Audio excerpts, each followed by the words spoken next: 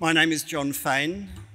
I'm here wearing my hat as a Vice Chancellor's Fellow at the University of Melbourne.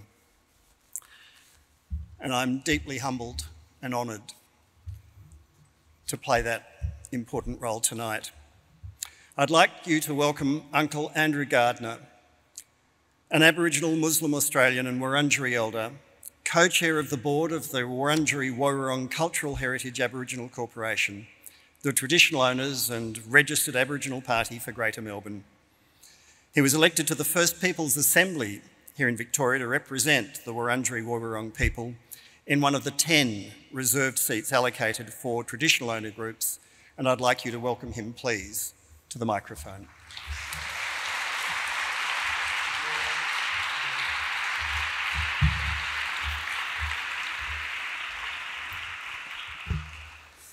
Good evening. How are we? This way. Half the audience with mask, half without. It's an interesting evening. But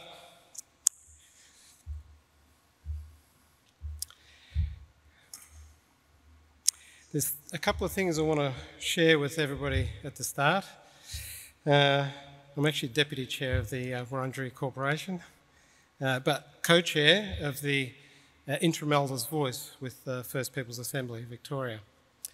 So that's engaging elders from around the state to participate in treaty and take up their leadership role to progress treaty in their local areas.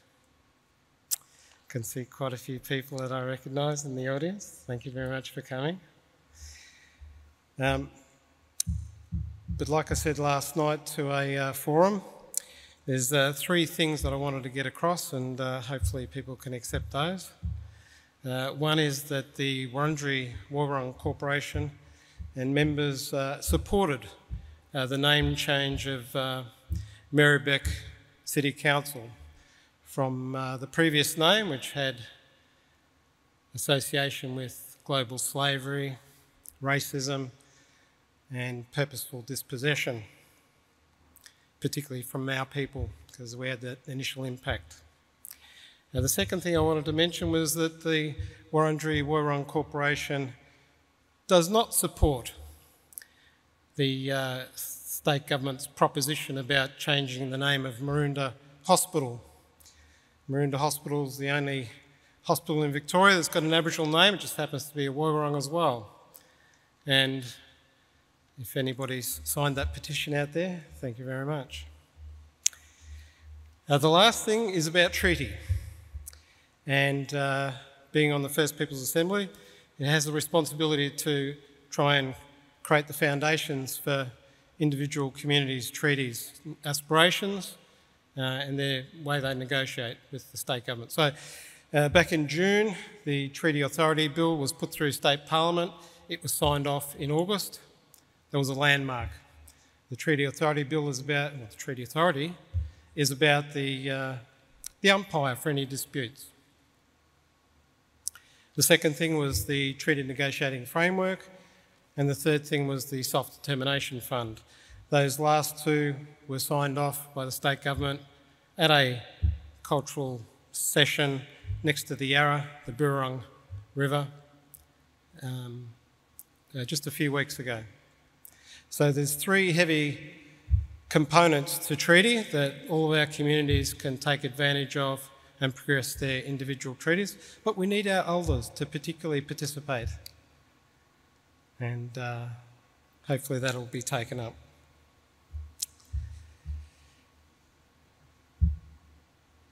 The Wurundjeri Woiwurrung's traditional country extends from the Werribee River in the west to past the Great Dividing Range in the north, Kilmore, Woodend,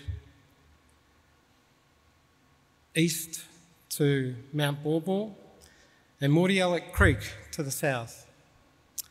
That might be a little bit contentious for some, but part of that's the truths that were traditions handed on to us by our elders and our ancestors.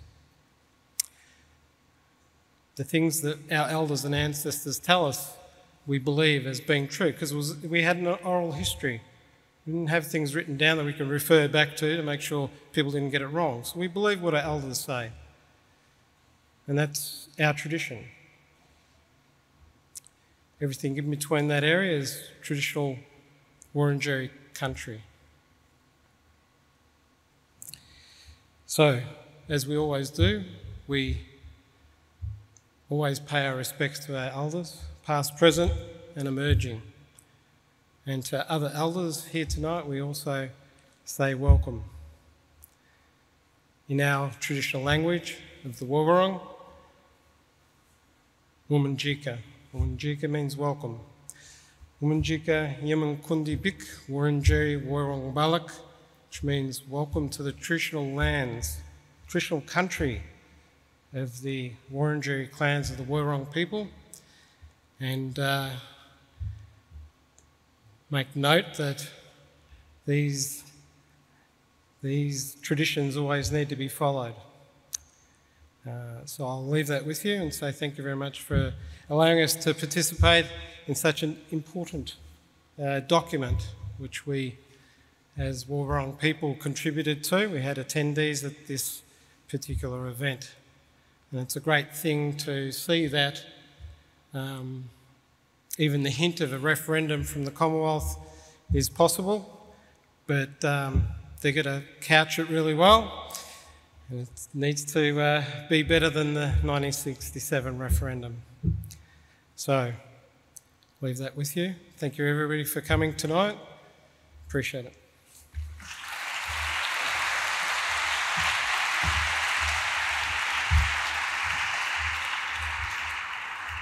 Thank you, Uncle Andrew, and I too pay my respects and also express my personal impatience for treaty or treaties to try and repair some of the damage of our colonial past. What a remarkable document we have, a living, breathing representation of aspiration for the future of our country. It's like an Indigenous Magna Carta. It's, I find myself quite emotional just being in the presence of this extraordinary parchment. We'll hear much more about it. We'll hear from the University of Melbourne Vice Chancellor Duncan Maskell in a moment. He'll introduce Archie Law from the Sydney Peace Prize. Then we'll hear from Megan Davis. And then we'll have a chance for a, a conversation about the substance of her delivery. And then the Lord Mayor Sally Capp will thank her. And then we have a fantastic performance for you as well. And uh, John Wayne Parsons will fill the room, fill the hall with some wonderful music. Professor Duncan Maskell is the 20th Vice Chancellor of the, the, University of Melbourne, arriving from the University of Cambridge, where his research specialty was infectious diseases. He's also enjoyed an active entrepreneurial career and co founded four biotech companies amongst his many accomplishments. He's an independent non executive director of CSL, a board member of the Melbourne Business School, the Melbourne Theatre Company, the Grattan Institute, the Group of Eight Universities Australia. And he will introduce Archie Law, the chair of the Sydney Peace Foundation, which presents the annual Sydney Peace Prize, now in its 24th year. Archie is also Save the Children Australia's Director of International Programs. Under his leadership at the Foundation, the Sydney Peace Prize has been awarded to the founders of the Black Lives Matter movement, to Professor Joseph Stiglitz, the Me Too movement, and this year to the Uluru Statement from the Heart. Professor Duncan Maskell, could you please welcome him to the microphone?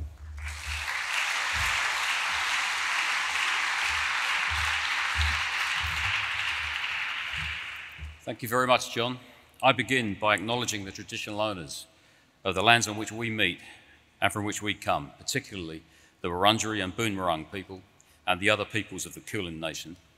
And I pay my respects to Indigenous elders, past and present. And I especially pay my respect to Andrew, Uncle Andrew, for his welcome to country this evening.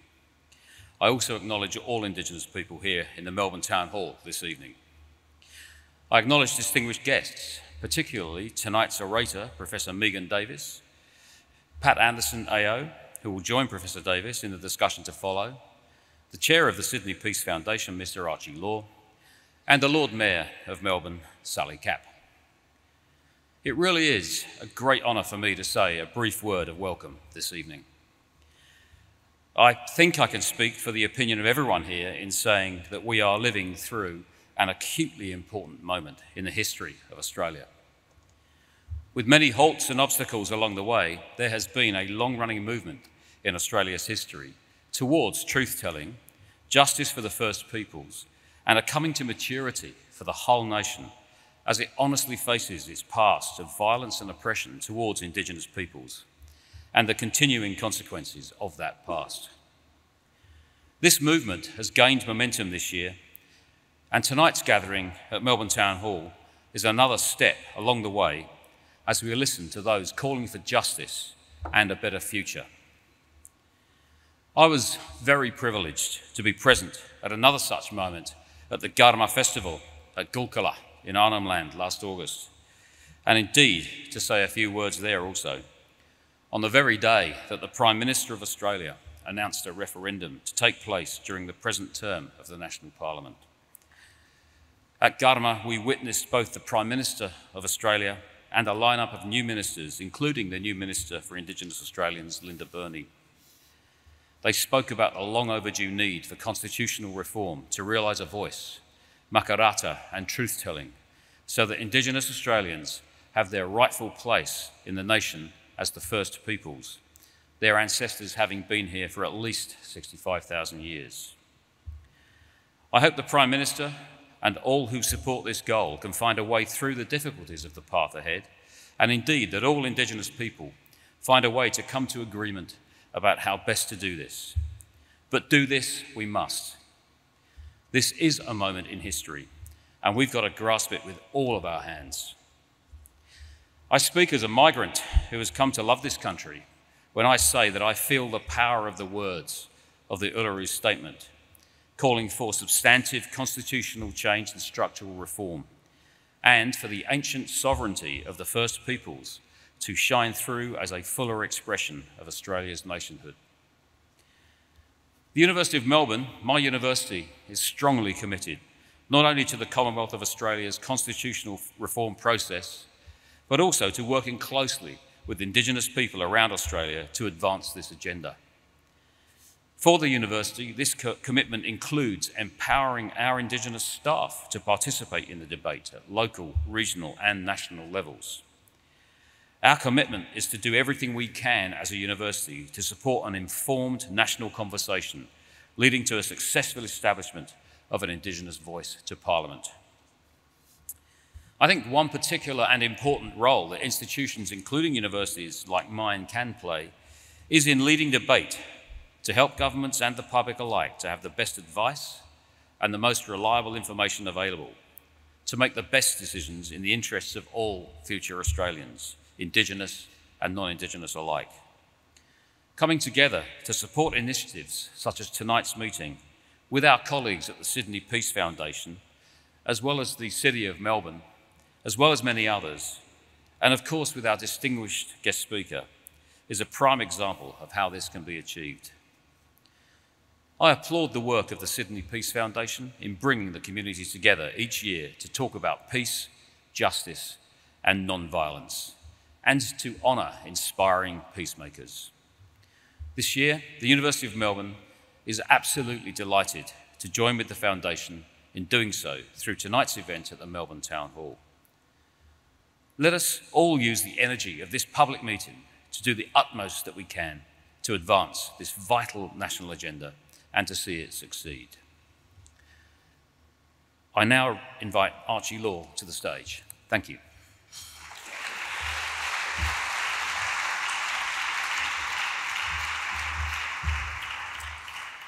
Uh, thank you, Duncan, and uh, thank you to you and also to the Lord Mayor uh, for hosting this event this evening. Um, we greatly appreciate that. Um, and as a, a, son of this city, uh, even though I chair the Sydney Peace Foundation, uh, delighted to be with you tonight.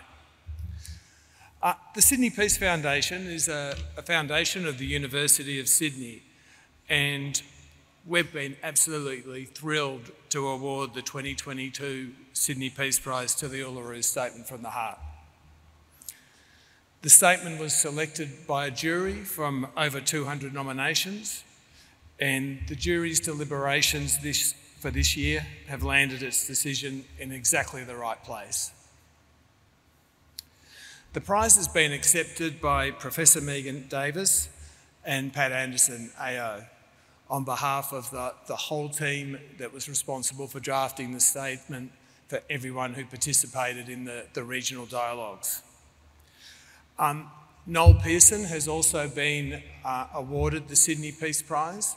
Uh, unfortunately, uh, Noel's not well at the moment um, and sends his apologies. Um, and we wish him well and a full and speedy recovery.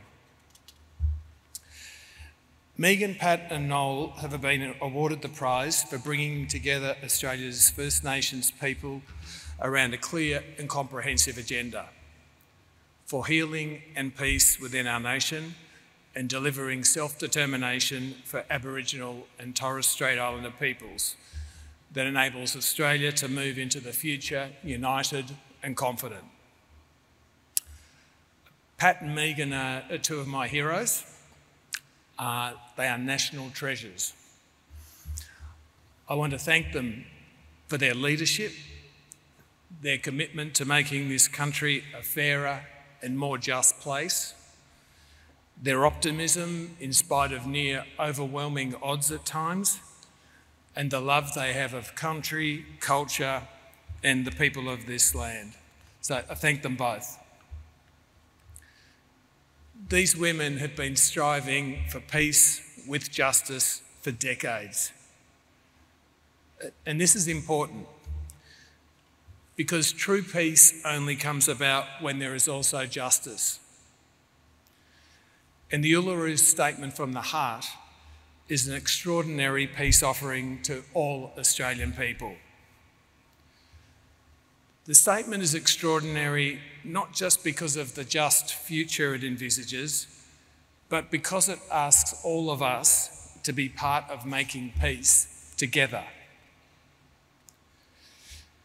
And we are not at peace when we stand on lands that have been forcefully taken, when there have been more than 500 deaths in custody with not a single conviction since the Royal Commission finished its work in 1991 and when a young boy cannot safely walk home from school.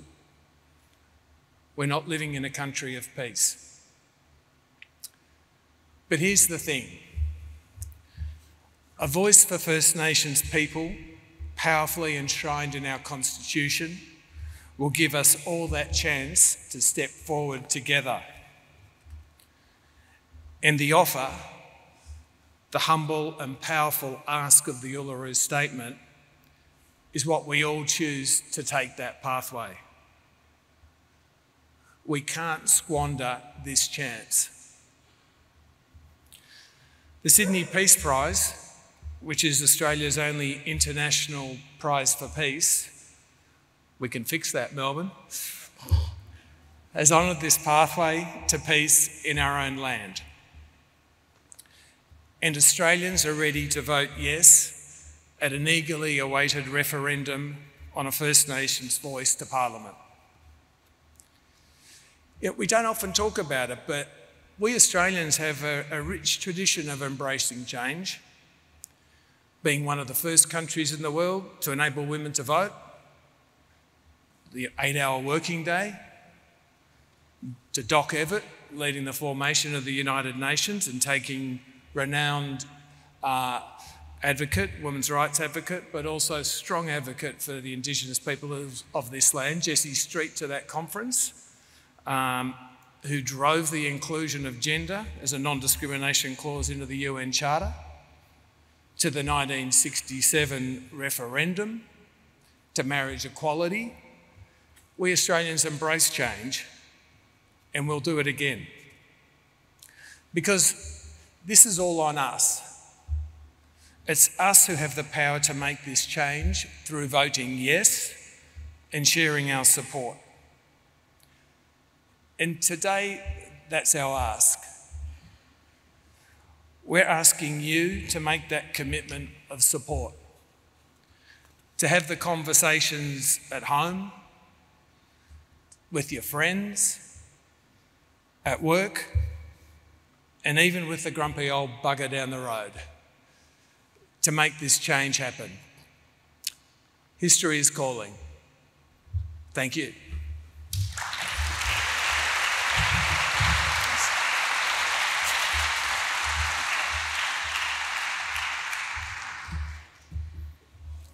Thank you, Archie and Duncan. I'd like you, please, to welcome to the stage Professor Megan Davis and Pat Anderson, and in spirit, if not in flesh, also Noel Pearson. Could you please make them very welcome?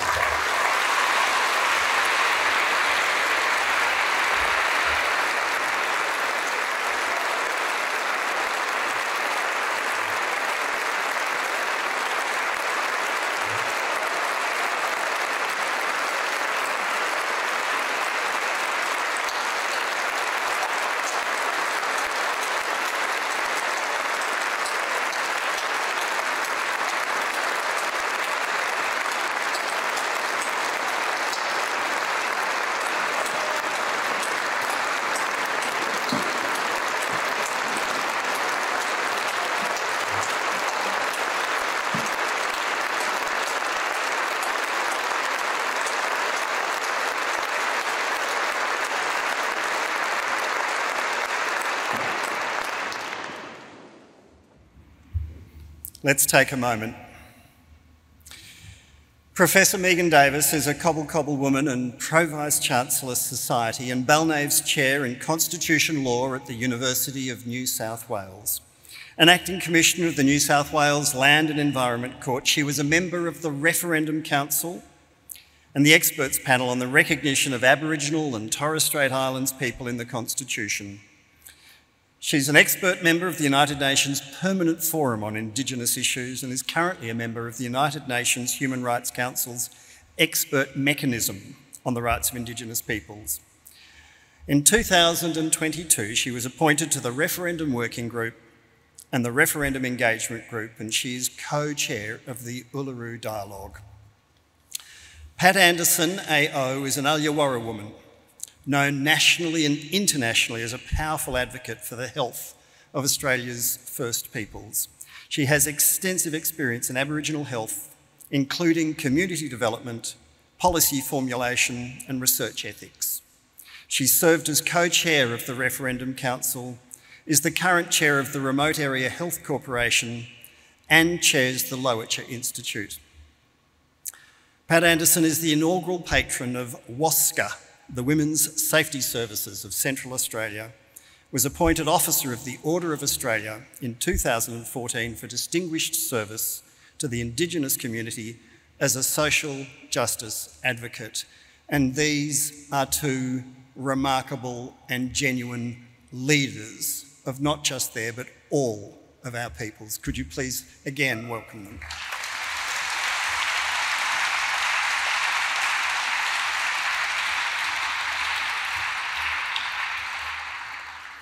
The format is that Megan will speak to us and then I'll conduct a conversation with both Pat and Megan before we move on to the rest of the evening's program. I'd like to invite Megan to the lectern, please. Thank you. It is a great honour to receive the Sydney Peace Prize for the Uluru Statement from the Heart on behalf of Pat Anderson, Noel Pearson, and myself. I would also like to acknowledge Mark Leibler, who was the co chair of the Referendum Council. We also recognise and celebrate the men and women of the Uluru Dialogues, and I pay well, our gratitude and respect to those dialogue mob who have passed since. And personally, I would like to acknowledge the extraordinary Pat Anderson. Noel agrees that without Pat's inimitable leadership style, this would not have happened. The Uluru Statement from the Heart and the law reforms contained in it, Voice Makarrata, was a game changer for the nation. In what was a languishing reconciliation, and recognition process in Australia. It was the culmination of an Australian innovation, the First Nations regional constitutional dialogues that were conducted in 2016 and 2017 to elicit from a sample of First Nations communities what meaningful constitutional recognition is to them. The Uluru Statement from the Heart creates a roadmap for change developed by our people in their own voices. Because it is our own people in their own communities who know what is best for their communities. This is what the right to self determination is about. The First Nations regional dialogues were conducted under the auspices of the Referendum Council and were the first of their kind since the Australian Constitutional Order commenced in 1901. Many Australians know that First Nations were excluded from the drafting of the Australian Constitution. Therefore, this process, the dialogue process, was unprecedented in our nation's history. And of the National Constitutional Convention held in 2017, it is the first time a constitutional convention has been convened with and for First Nations people. Thus, the dialogue process and the Uluru Statement from the Heart is a profound response to historical exclusion from the Australian constitutional system.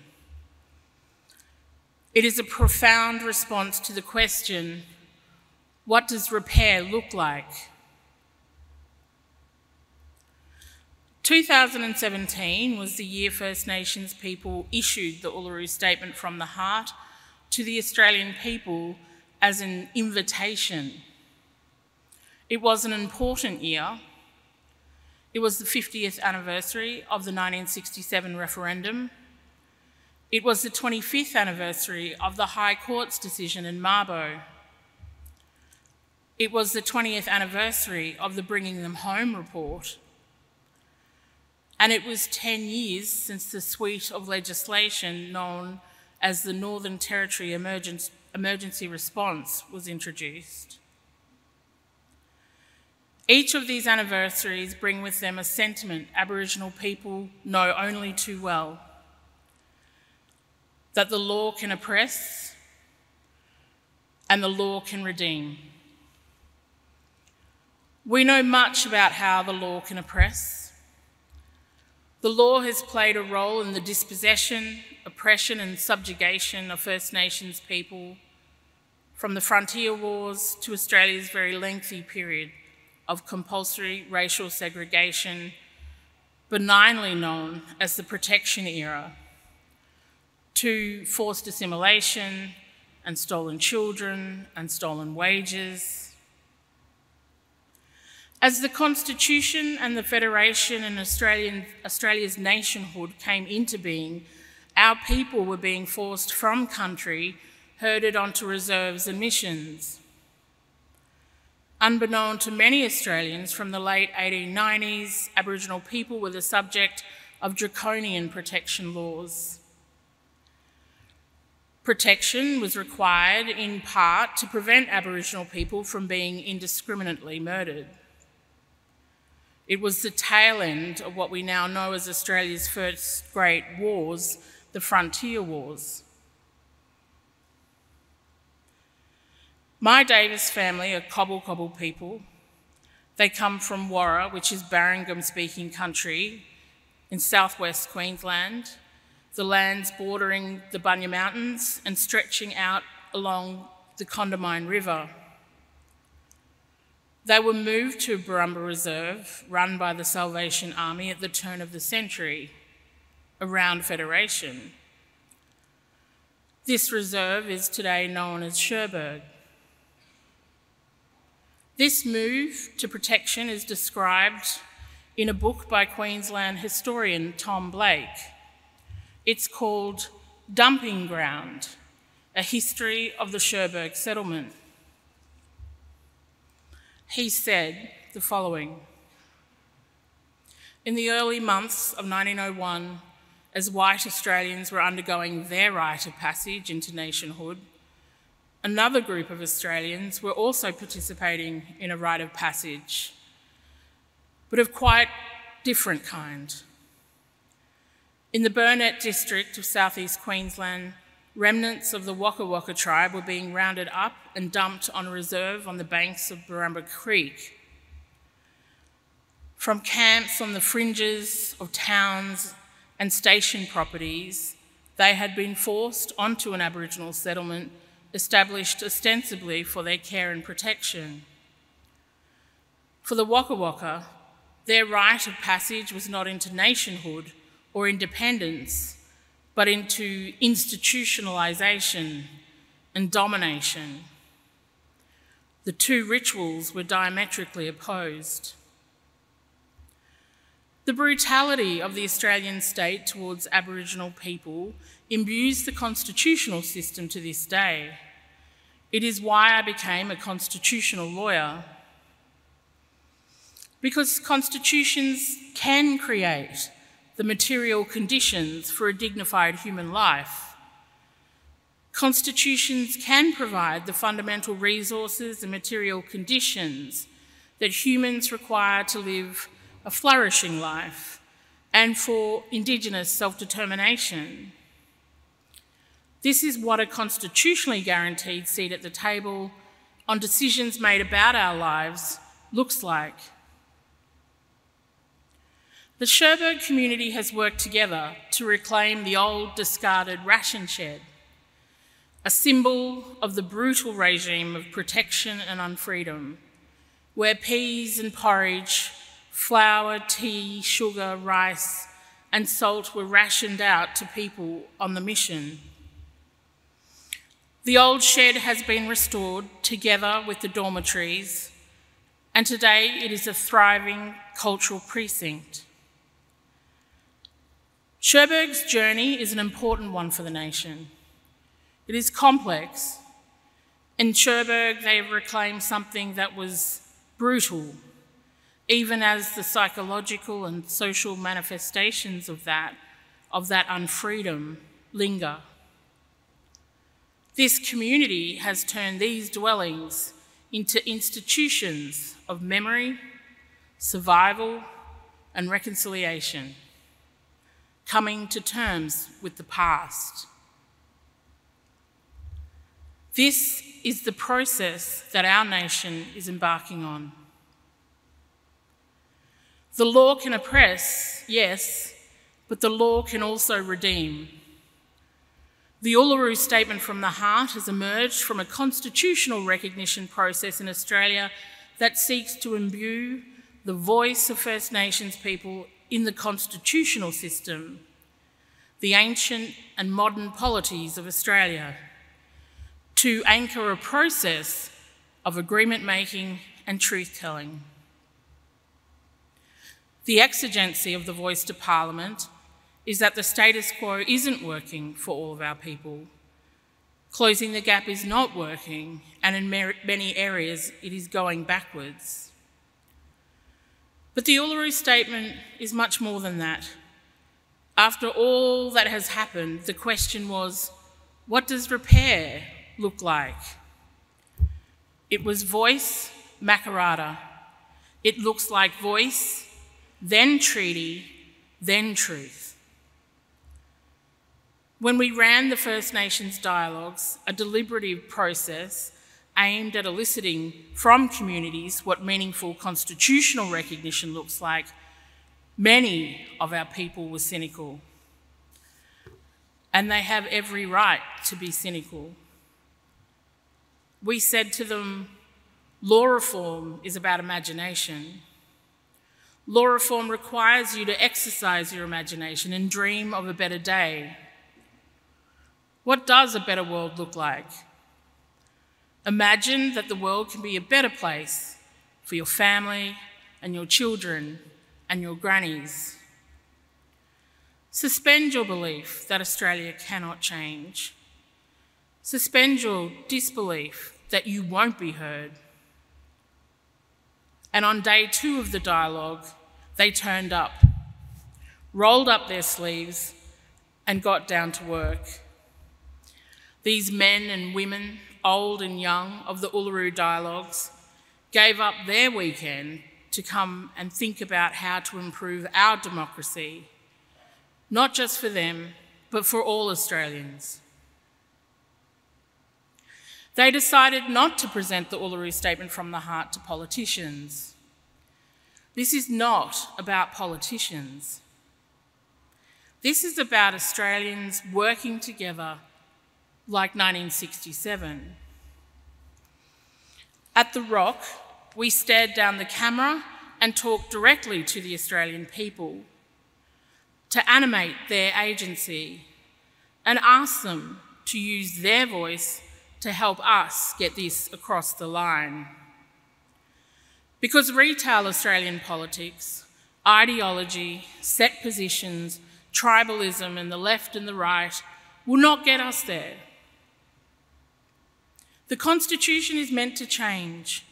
It is built to change by us, the Australian people. The Uluru Statement from the Heart is an invitation. It is a gift to you, the Australian people. Stan Grant Sr. says that language is not about who you are, but about where we are. When people say that this is about changing the Australian identity, it is not. It is about location. We are located here together, and we have to coexist in a peaceful way. We're about to face and are facing serious existential crisis as a people, as a humankind, as the climate changes and the planet warms up. The fundamental message from elders and traditional owners in the dialogues was that to face this battle together, the country needs peace. And the country cannot be at peace until we begin to resolve this issue, the original grievance. And the Uluru Statement is the beginning of that. Yes, Australia's democracy has been a successful democracy, but not for all, and not for the First Peoples. And after everything that has happened to our people the killings, the massacres, the genocide, the compulsory racial segregation, and the stealing of children and of wages and of land the contemporary manifestation of this youth detention, child detention, youth suicide, incarceration, child removals. Despite all of this, they chose love. They spoke of love. They spoke of peace. They issued an olive branch to the Australian people, and they offer this to you sitting here in this room tonight an invitation to walk with us.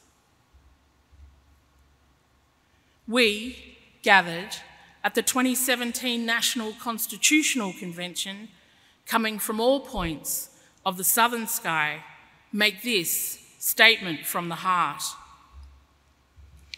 Our Aboriginal and Torres Strait Islander tribes were the first sovereign nations of the Australian continent and its adjacent islands, and possessed it under our own laws and customs.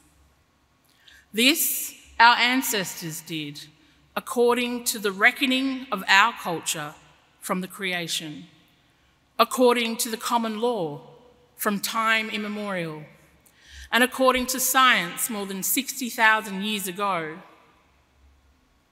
This sovereignty is a spiritual notion. The ancestral tie between the land, or Mother Nature, and the Aboriginal and Torres Strait Islander peoples who were born therefrom, remain attached thereto, and must one day return thither to be united with our ancestors. This link is the basis of the ownership of the soil, or better, of sovereignty. It has never been ceded or extinguished and coexists with the sovereignty of the Crown. How could it be otherwise? That peoples possessed a land for 60 millennia and this sacred link disappears from world history in merely the last 200 years? With substantive constitutional change and structural reform, we believe this ancient sovereignty can shine through as a fuller expression of Australia's nationhood. Proportionally, we are not, we are the most incarcerated people on the planet. We are not an innately criminal people. Our children are aliened from their families at an unprecedented rate. This cannot be because we have no love for them. And our youth languish in detention in obscene numbers. They should be our hope for the future. These dimensions of our crisis tell plainly the structural nature of our problem. This is the torment of our powerlessness. We seek constitutional reforms to empower our people and take a rightful place in our own country. When we have power over our destiny, our children will flourish. They will walk in two worlds, and their culture will be a gift to their country. We call for the establishment of a First Nations voice enshrined in the Constitution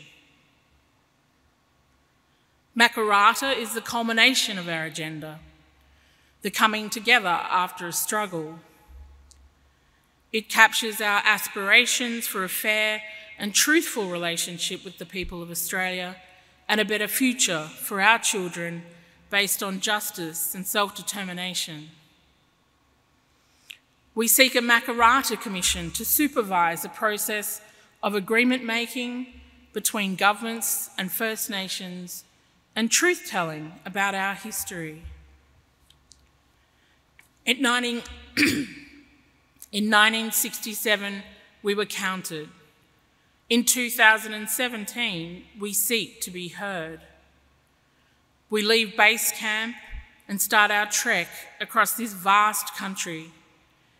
And we invite you to walk with us in a movement of the Australian people for a better future. Thank you.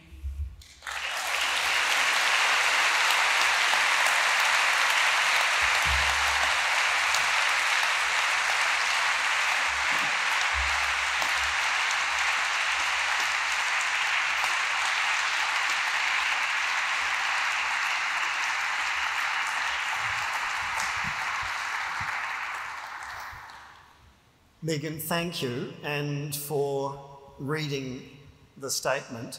Pat, if we can start talking about truth telling and consensus building, and I'll let Megan catch her breath and have some water.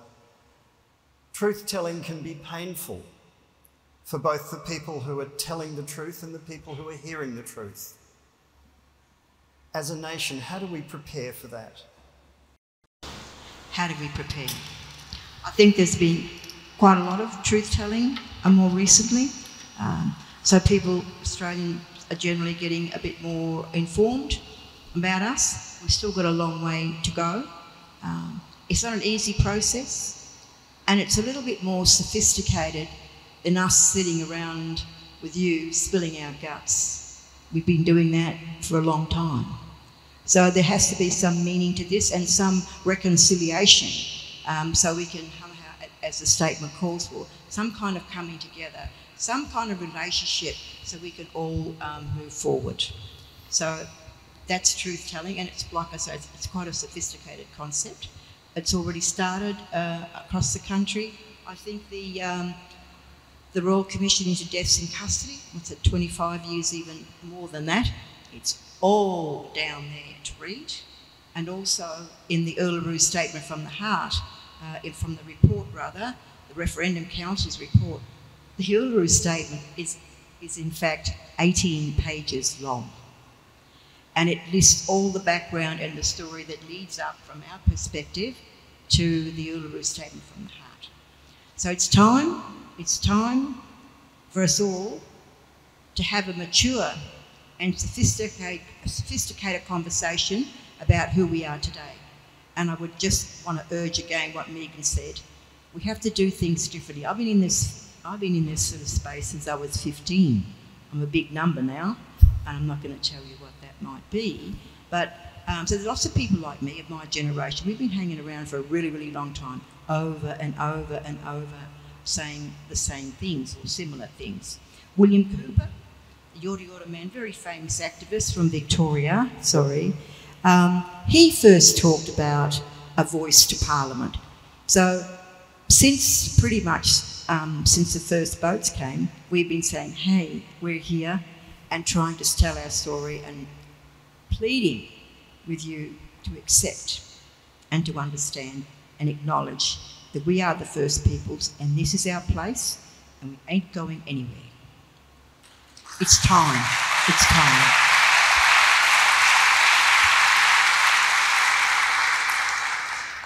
Megan, about the pain of the process. We saw, for instance, with the referendum that wasn't a referendum and became an opinion poll on same sex marriage, that that caused a lot of pain, a lot of hurt, and a lot of backlash. How do we avoid going through the negative part of that process and harness the positive? Um, well, I, Up I close. guess Up close. Um, I mean, I guess we talk about that, and many mob talk about that as you approach a referendum. Um, but I guess you know we manage it by discussing it up front, knowing that it's going to be a difficult campaign, drawing upon all sorts of, you know, well each other, hey Pat, to um, to to manage that. But yeah, we know it's going to be difficult. We're not Pollyannas. Um, we're, we're preparing for it. But I think Pat's point is an important one. Australia is very quite a distance down truth tell, the truth telling path. Um, let's not pretend we're starting now. We have a lot of lessons about what works and what doesn't work. So Pat referred to the Royal Commission. We know commissions of inquiry don't, don't work. We know royal commissions don't work.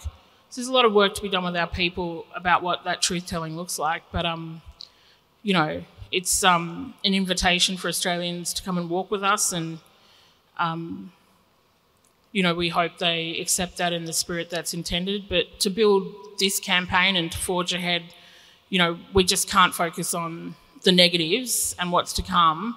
We have to ensure that Australians understand what the Uluru Statement is and what the opportunity on the table for Australians, um, you know, is.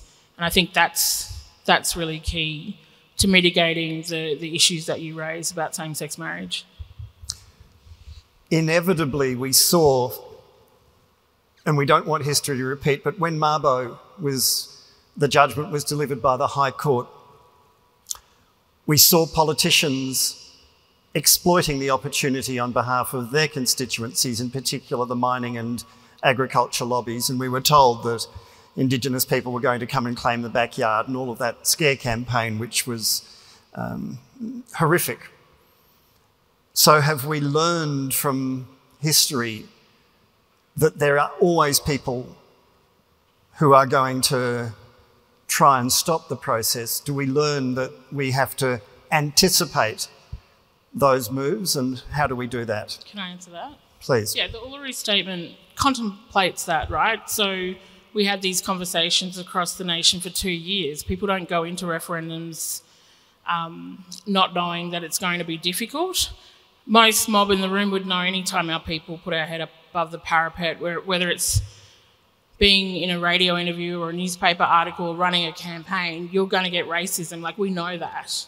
Um, but the Uluru Statement was issued as an invitation to the Australian people because we wanted to avoid retail politics, the same politics that you're referring to. So we know if this gets bogged down in ideological battles between left and right, then that's what's going to happen. But our people decided not to go down that path.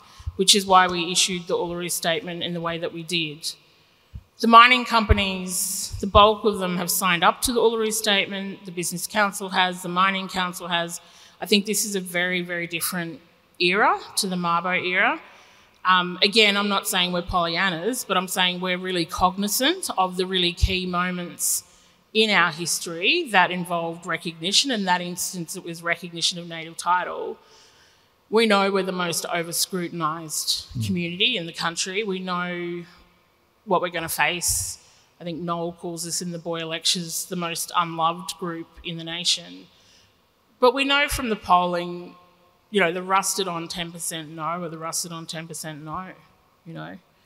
Um, and we know that as we move around this country talking to Australians about this movement, um, that politicians have just resorted to what we expected them to do set pieces, you know, set ideologies, tribalism, what we knew would happen.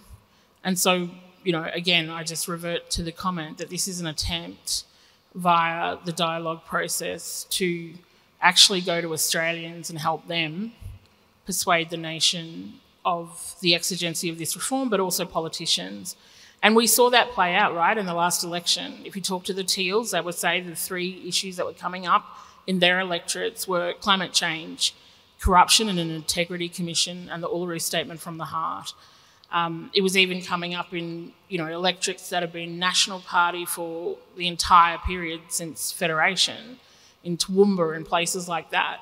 So, um, so, you know, we hope that Australians view this and make, I think Pat's the most eloquent at talking about this, and that is read the information, read the Uluru Statement, read the 18 pages, read all of the information, and be fully informed. Um, and then when the ballot box time comes, it's a decision um, of every individual Australian in their conscience about which way they want to go. But um, the Mabo era that you're talking about is one that is foremost in our mind, as a number of other mm. periods are as we move forward.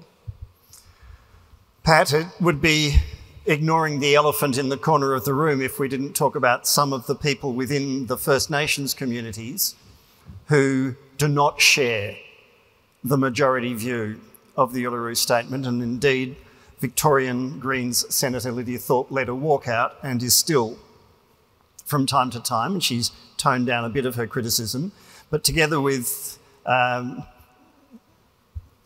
people from the other side of politics, there's a substantial body of opinion of people who, even in the Indigenous community, don't agree. And Jacinta Price, Nampijinpa Price is another one.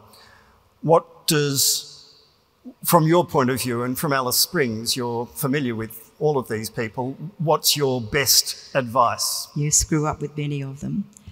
We are just like you. We come in all shapes, sizes, and, and colours. Okay? So everyone's got a different point of view about this. There is a lot of support amongst the, um, amongst the Aboriginal community across the country. But the people that were at the regional dialogue, just a little diversion here, um, were the people, they don't go on the drum, they don't write opinion pieces, they're not on Q&A, they're just out there mostly struggling, okay? Now they turned up, I don't know, you know, they turned up for three days to talk about the Constitution, okay? And they did, and they did the really hard work. It was a long conversation. People, were, we had to, uh, they were really concerned about some of the concepts and what have you, but they did it. They did it. They rolled up the sleeves because of the prize at the end, which is here. And it was a conscious decision to gift it to you. Rather than, and when, in fact, we've just come from the bush and we went to, there was a big Q&A at Parliament House and Megan, Noel and I walked in and the first thing we saw was the Bark petition and the Barunga statement and everything imprisoned behind glass. We said, this is never, never ever is this going to hang in Parliament House for some politician at some stage decide to put it behind glass. It's actually returning um, to Mutitjulu. I'm going a little bit off your question. Look, we all come in shapes and sizes. it's up to you. We can't cover all the information that you're going to hear. Misinformation, there's a ton of it out there. You don't know enough about us to make a discerning uh, opinion about it. But nevertheless, on polling day, when you're in the booth by yourself, there's only you and your conscience. You have to decide and take responsibility for that decision, how you vote. We can't cover all the bases. It's really up to you. So we've been pleading with everybody across the country for the last five years. Inform yourself. Try to find out as much as, as much as you can. It's really important, whatever you, however way you vote, that it's an informed decision. That you engage your intellect and your heart and think about what sort of a country we're going to be from here on. What are our values? What do we stand for? Who are we? That's um, the question that you need to answer when you're in that polling booth by yourself with a pencil. So, uh, lots of different people, lots of different, as it should be. As it should be. There's nothing wrong with differences um, of opinion. And they're all, they all have, they're entitled um, to their own views and opinions. Uh, but that's, that's the question that you have to answer when you're in the half light uh, of the polling booth. Megan, do you want to say a word about Jacinta Price and Lydia Thorpe and the politics of it?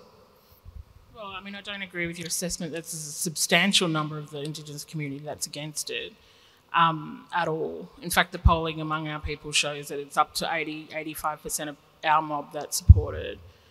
Um, look, they're politicians and they're entitled to their view. That's that's all I have to say. Um, um, you know, our job is to take what was a historic consensus at Uluru and um, seek to have this reform implemented. The only point that I would make is, you know, there's no, you know, there's a deliberate sequence. Um, the Greens talk about a truth-telling process first but what people said to us from grassroots communities right across the country was, we've done a lot of truth telling. Mm. You know, our people go into the Royal Commission, bringing them home. Um, you know, other Royal Commissions on youth detention, commissions of inquiry in different jurisdictions, and all we do is tell our story over and over again in a kind of performative sense so that Australians can read it but not implement the recommendations. Um, and that, that's what has occurred in the bulk of the reports that our people have had to participate in. People are fatigued by that. You know, they don't want to keep telling their stories with nothing at the other end. The example, or at least the experience in Canada and other places, is yeah, commissions of inquiries don't lead to any change. Canada's had four and it hasn't led to any substantive change among Canadians about their knowledge or understanding of First Nations peoples.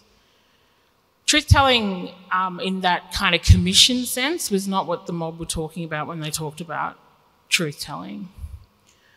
That truth commission sense um, is a kind of confection that was applied by academics and others after Uluru because it, it meets um, the kind of you know, the body of transitional justice that emerged out of the 1990s with Latin American democracies as they were transitioning from dictatorships to liberal democracies.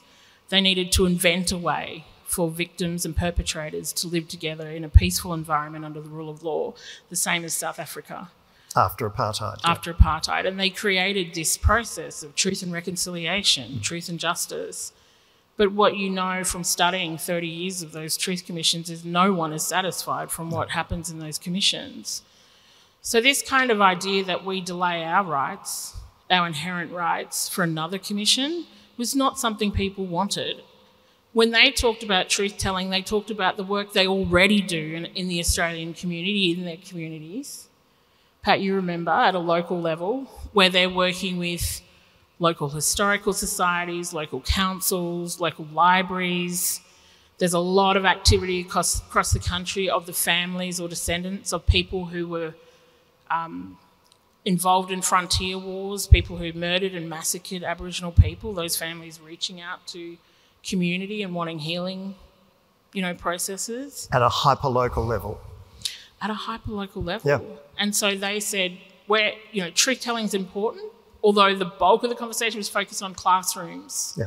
So primary schools and high schools, that's the bulk of what our mob said in all 13 dialogues. We need Australia, in Australian history, we need our version taught as well. Or not our version, but what happened to us as well.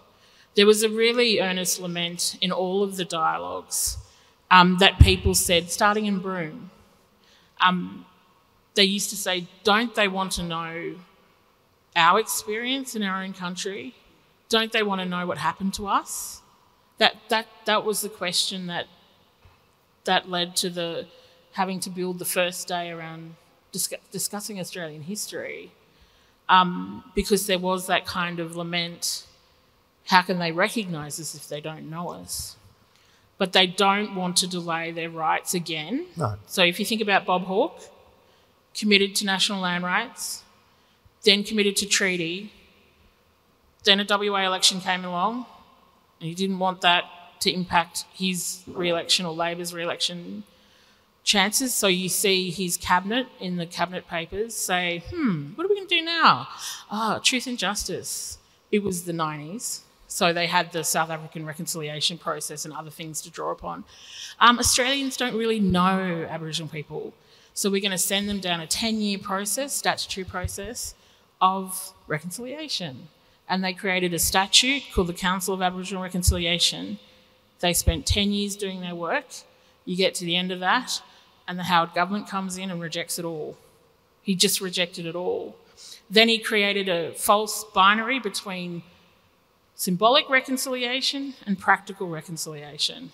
And he walked down that path and he decoupled rights and recognition of our people from citizenship rights. Reconciliation Australia followed him and they created RAPs. RAPs have been studied and they're regard- reconciliation action plans. They're regarded as unique in the world because they're the only reconciliation mechanism in the world that requires nothing of the state. It's all about private action. It asks nothing of the state. And so RAPS went that way, or RA went that way with Howard, and it took us 10, 20 years to recover. It was the Uluru Statement from the Heart that brought, brought rights back to the table. It brought rights back to reconciliation. And that's why it's so important to have this implemented because we have a very skewed process in this country that promotes an idea of reconciliation that asks nothing of the state.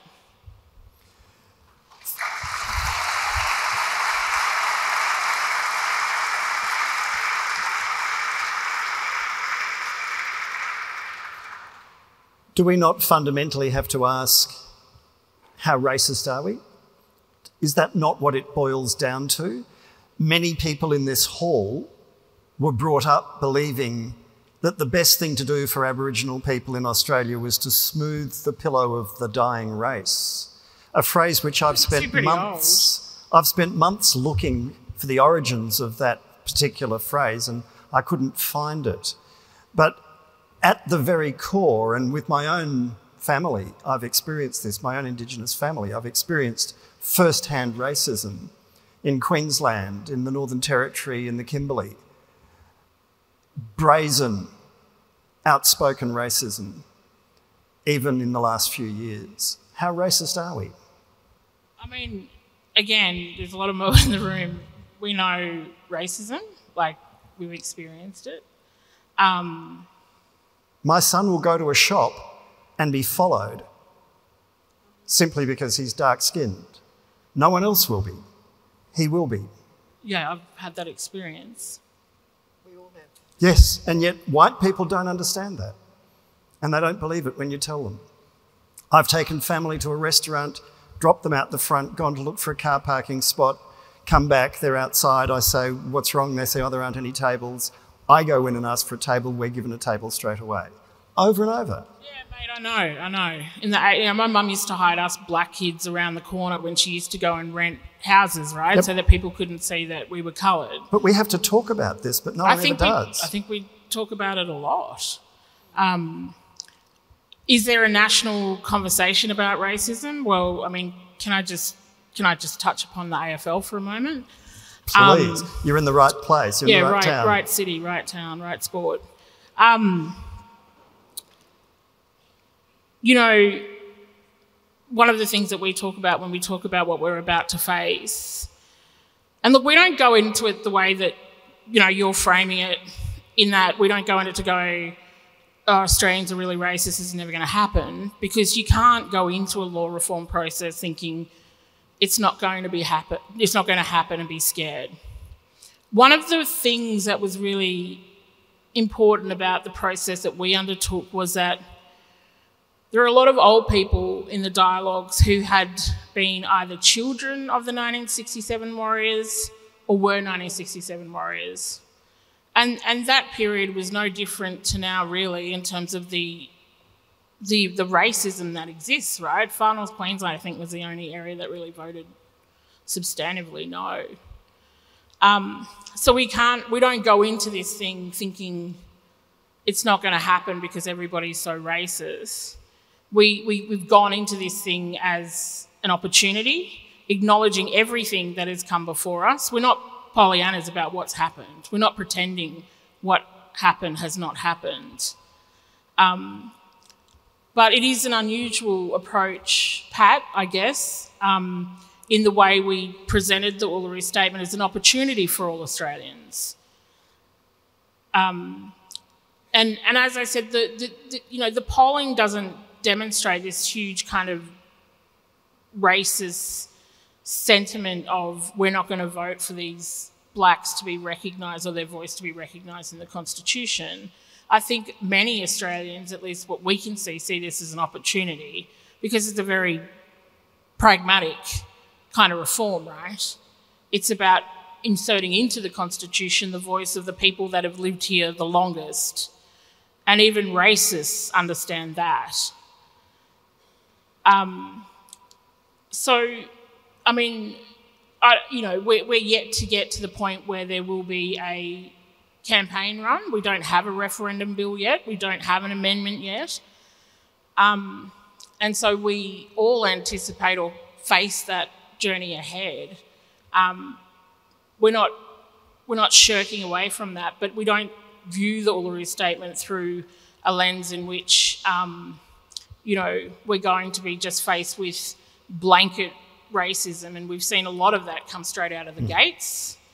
Um, but rather, we've got to have those conversations with people about what it means. I mean, I, Pat too, we, we all, a lot of mob grow up in and amongst people that people would call racist. You know, my grandmother was probably, she was racist. Um, you know, we have to sit down with these people and have these conversations. You know, they are people that live across the road from my mum. They are people that I grew up with. We, we live amongst people that have racist views. And a lot of racism, if I can just put my United Nations hat on the table, a lot of it is about um, not knowing, um, lack of education, not knowing any Aboriginal people, there's a lot of, not complexity to racism, but there's a lot of, um, you know, we, we think that we can, um, you know, uh, lead this movement and this campaign through all of that.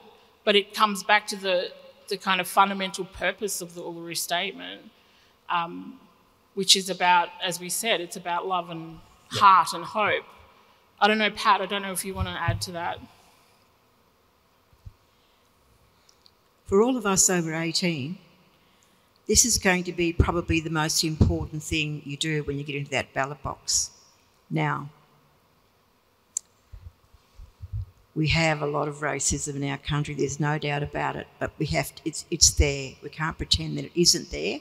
In fact, it's only just recently that, you know, we'd say, that people wouldn't say racist or racism, they'd say the R word, because it was a really um, a dirty, a dirty word. We have been generation after generation after generation of us have been subject to this.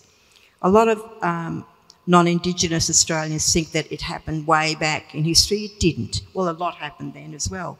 But just taking my own family, for instance, just briefly, it was public policy of the day not, not to teach my mother to read and write. When I was at school growing up in Darwin, as an example, this is me now, um, the only job available to me because of who I was and where I lived, that I would be a cleaner, a domestic cleaner, either at the hospital or in a non Indigenous woman's um, house. Nothing wrong with being a, a cleaner. Absolutely, there is. That's not the point. But that was the only option available to me. And it just goes on and on and on. So we have an opportunity here to try to um, deal with that, deal with who we are, and try to be better people. That's what's on the table. That's what we're asking you to think about. As I said earlier, think about who we are, but we've got a long way to go. This is probably going to be one of the most difficult conversations we're ever going to have. Well, for this generation, everybody over, over 18. But let's deal with it now. Don't leave it to our kids and our grannies. It really is time to do something to, to, to heal, to deal with all this stuff so we can, we can move on and reach as a nation um, our full uh, potential.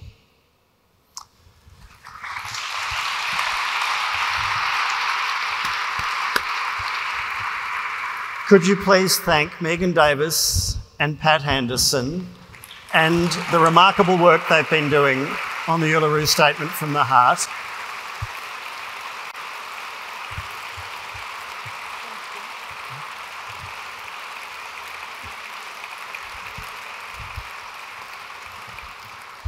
And now we have a treat, a real treat for you. John Wayne Parsons is a proud Yuggera and Meriam Le man. And Yuggera he explains to me, is the area southwest of Brisbane.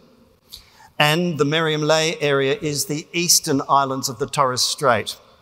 He's a team leader in Indigenous student success at the University of Melbourne's Murrup Barak Centre. He's a composer, producer, and performer whose singing practice is deeply embedded within his cultural identity. Could you please welcome John Wayne and his guitarist Cisco to the stage?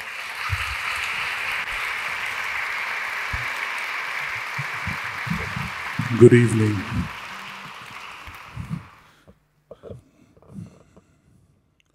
We've got a couple of little songs that I'd like to share with you. I think you've heard some good information tonight bit more clearer on the statement. So the statement, we know where it comes from, Uluru.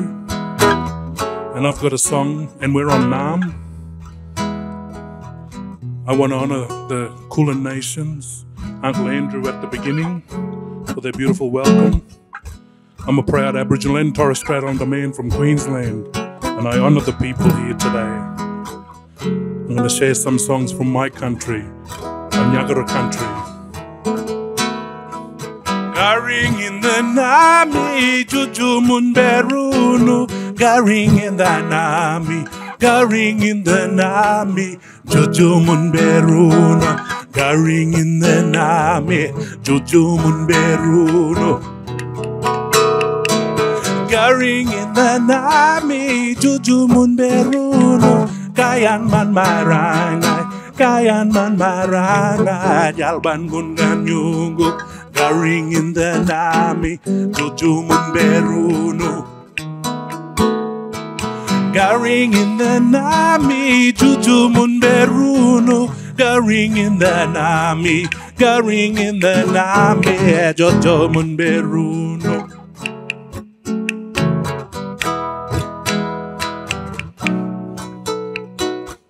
that song talks about coming from the north, east, south, and west.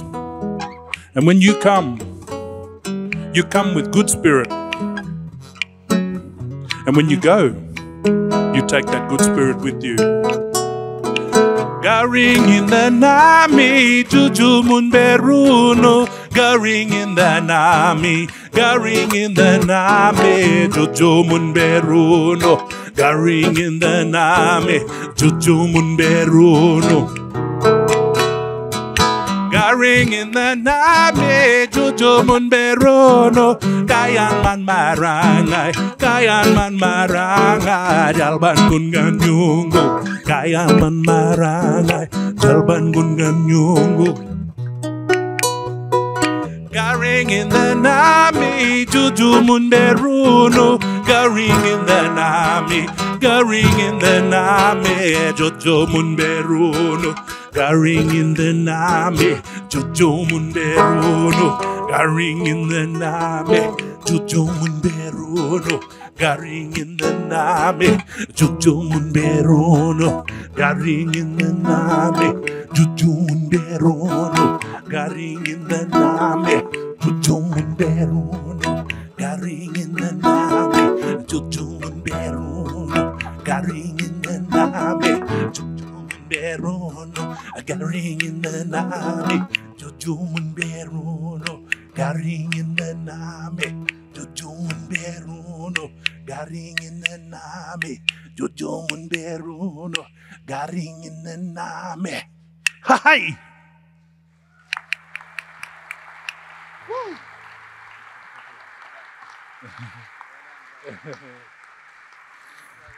Thank you.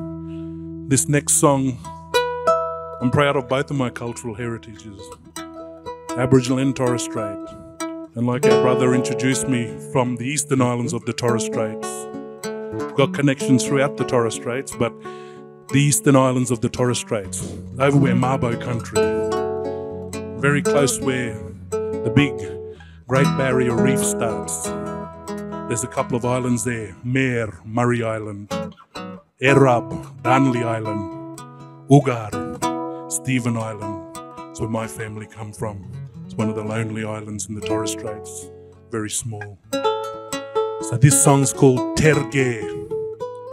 And I want you to think about the song as I sing. This one's about the ocean, about the waves, and how it crashes. And when it crashes, you see the sprays. I like to think those sprays, and I use the metaphor that those sprays are the voices of my ancestors. What's your ancestors telling you today? This song's called Terge.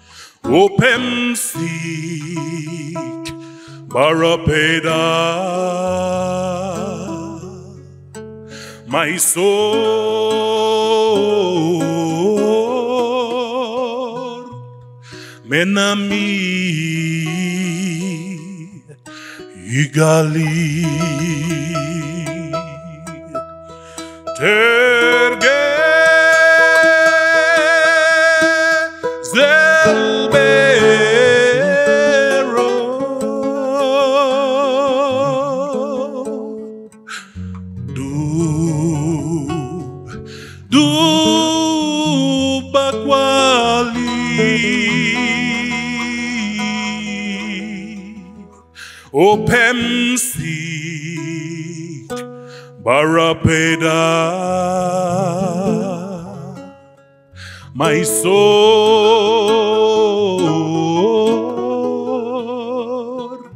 Benami Igali.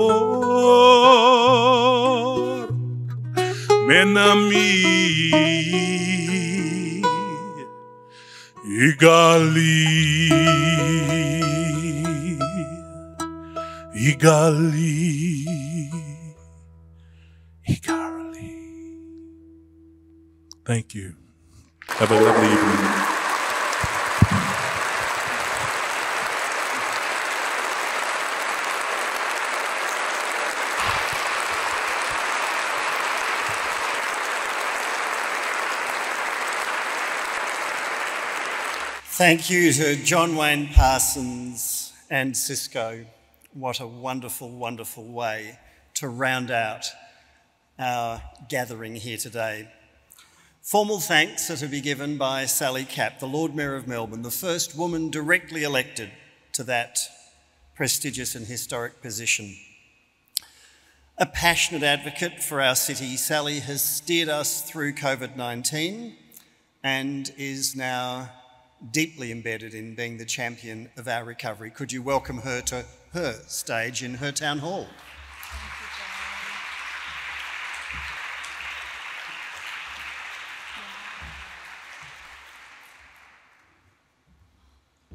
Wow, wow, wow. How remarkable and momentous that we are all here this evening with the Uluru Statement from the Heart and the leaders who brought this important dialogue together. To Megan Davis and to Pat Anderson AO, thank you. I, have got shivers and I know everybody here uh, is in the feeling the same way. Now, I had a long speech prepared, you'd be so pleased, a long speech prepared this evening that outlined many of the projects that the City of Melbourne has underway to govern with and respect the traditional owners of the land on which we govern here in our municipality, the Wurundjeri Woi people and the Bunurong Boonwurrung people, and I now pay my respects to their elders past and present. My speech also outlined the many initiatives that we have to honour the unbroken spiritual, cultural, and political connection that the Wurundjeri, the Bunurong, the Dja the Taungurung, and the Wadawurrung peoples of the Eastern Kulin have with this unique place called Naarm and have had for more than 2,000 generations.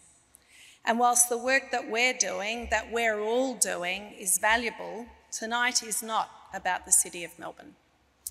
It is about the brave and impressive group of leaders who developed the Uluru Statement from the Heart. It is about the activism and persistence of the traditional owners of Australia. It is about their ongoing generosity and warmth in still wanting to share their ancient culture after more than 200 years of neglect and devastation. It's about the power of vulnerability through truth telling and the opportunity to empower our First Nations people.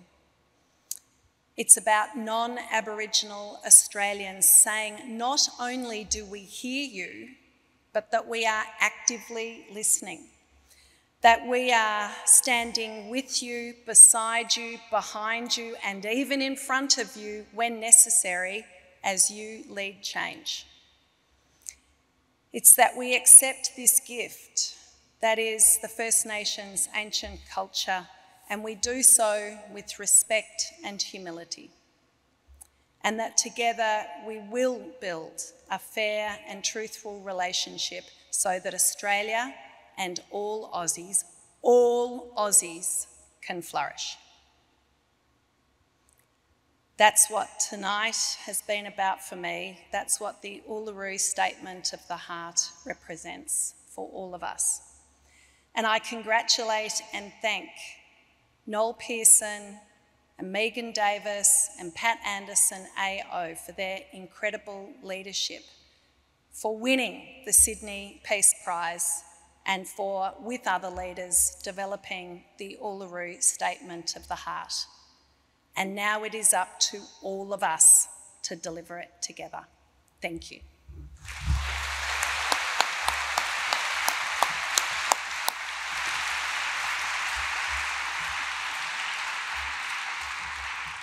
Thank you, Lord Mayor. It seems trite, but still worth remarking that progress is not inevitable,